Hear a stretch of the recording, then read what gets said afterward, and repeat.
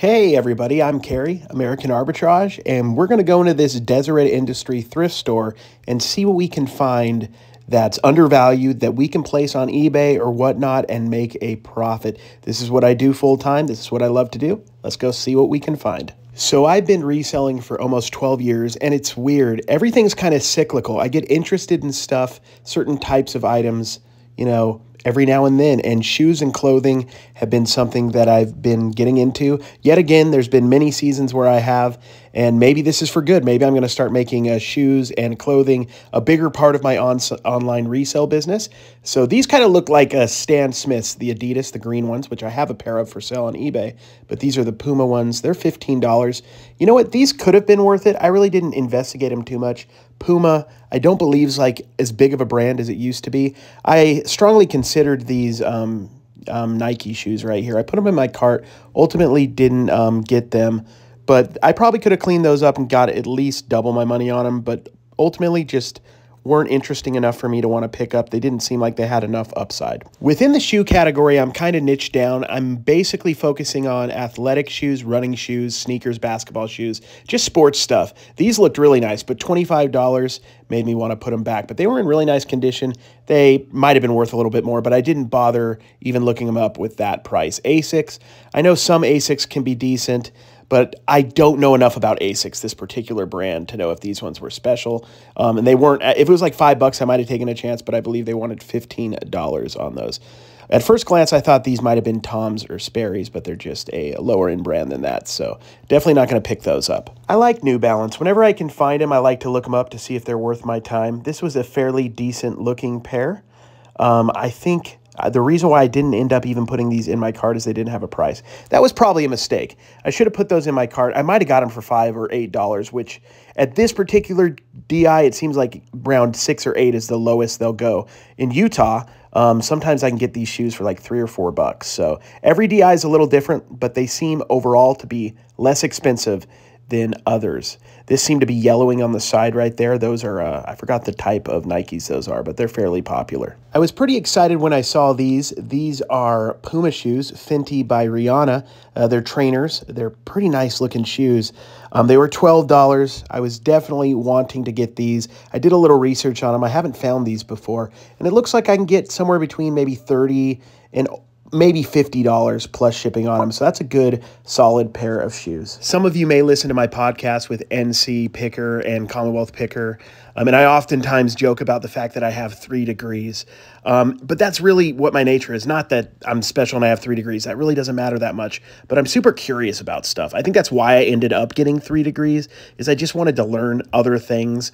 And, you know, that's served me well and also probably been a negative in my life at times. And I think that's what I love about reselling and like looking at shoes and trying to learn new things is there's just always so much to learn so many new categories, subcategories, subcategories of those categories to get into and learn. There's just a never ending amount of things that you can learn to flip and resell. It's probably one of my favorite um, aspects of reselling. I'm going to go check out the jersey section now. First jersey I see is a Khalil Mack jersey uh, back when he played for the Raiders. I don't know if he played for the Raiders when they were in Vegas, but he's on the Bears now. That's overpriced, unfortunately. This also really cool Super Bowl jersey, Todd Gurley. Um, I'm not sure. I guess Todd Gurley was on the team when they went in 2019 to the Super Bowl. He's unfortunately not on the team anymore. A lot of times when these players leave, unless they're legends of the team, their jerseys, you know, you can make a few dollars on them, but you don't want to overpay on them because they may not have that much of a market, unfortunately. Here's a, another example of that. This actually, one of the best players of all time, LeBron James, Cleveland jersey. That'll still sell at the right price, but it has to be pretty inexpensive. I'd have to spend maybe $5 tops on that to feel comfortable buying it to flip. If you've watched my videos for a long time, you know I typically don't like to spend too much time going through the clothing aisle or through the racks and stuff. But lately, I've kind of been into it. It's kind of tripping me out. Um, not every day. This day, I was kind of into it. I thought that might have been San Diego Chargers there for a second, but it was a looks like a high school team. I'm just looking for anything that I can flip. And what I love to look for in the clothing section, in particular, is sports related stuff. I love sports, so if I can find a jersey or a you know like a cool vintage Carl Banks, you know, Chicago Bear pullover or something.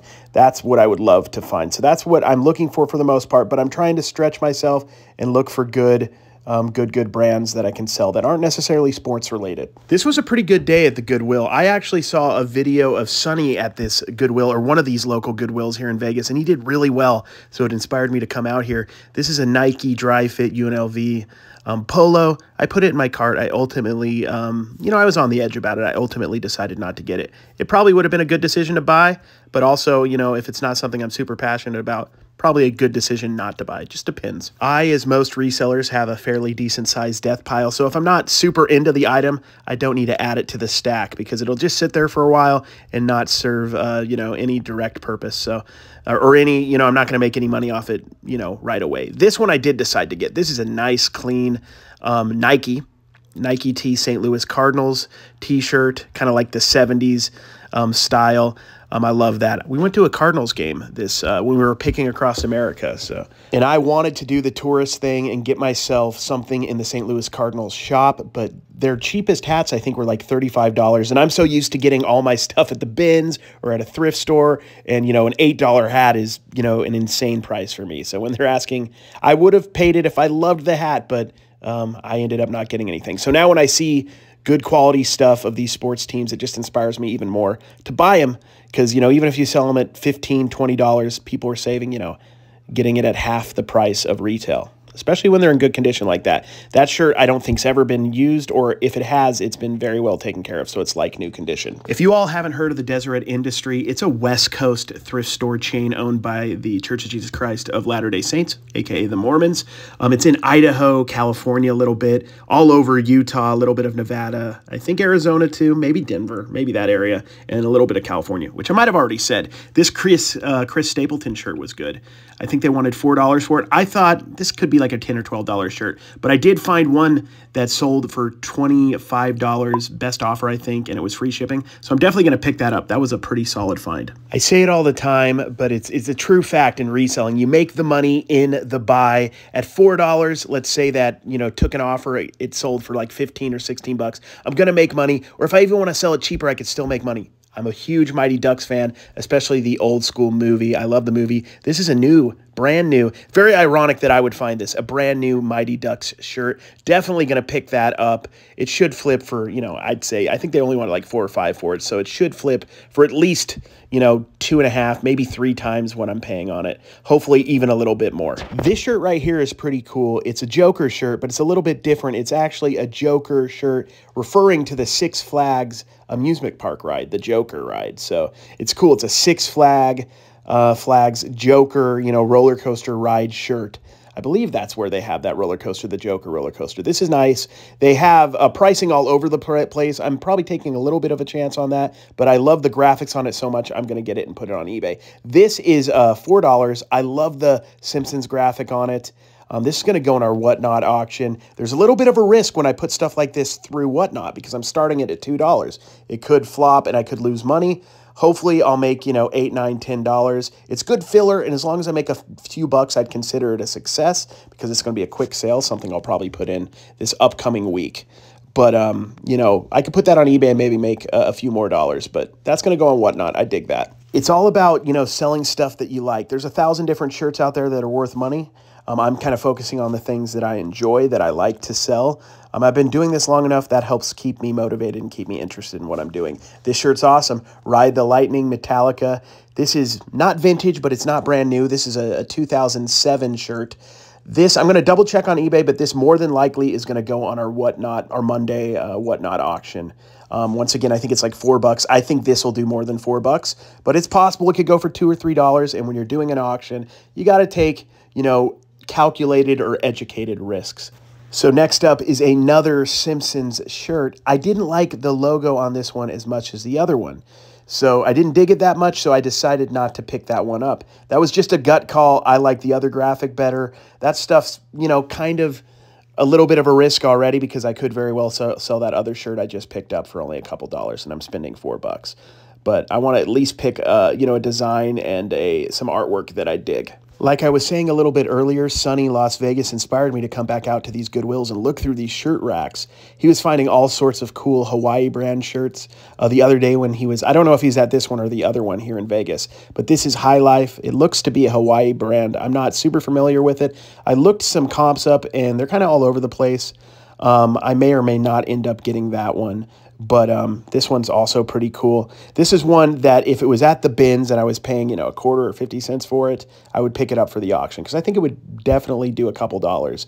But um, I got to pay like three bucks here. So I ultimately ended up um, putting that one back. This one is another band shirt. I'm not as familiar with asking uh, Alexandria, so I ended up putting that one back. I really do believe as a reseller, you have to be willing to grow and learn new things. And sometimes you're going to push against that because you're kind of stuck in the ways that you're familiar with and the stuff that you enjoy reselling. And trust me, if you've watched the last couple years of my video, uh, my videos that I've made, I've struggled a great deal with this because I want to stick with the stuff that I love the most. And, and I think as a main focus, I think that's important to kind of stick with stuff that you love the most. But as you're trying to expand and, and make a couple extra dollars here and there, I think it's important that you push yourself, that you get into other areas and that you get excited about it. Watch other resellers, you know, that are experts in that niche. I've been following a lot of people who are doing clothing reselling at the bins and at the thrift stores. Flip the World TX is awesome. Thrift Alive, great, great stuff. And there's plenty of other uh, resellers out there in the clothing niche, plenty of others that do amazing, amazing work. Um, Ginger Marvin, they do a lot of clothing as well. Check them out for sure if you guys have time.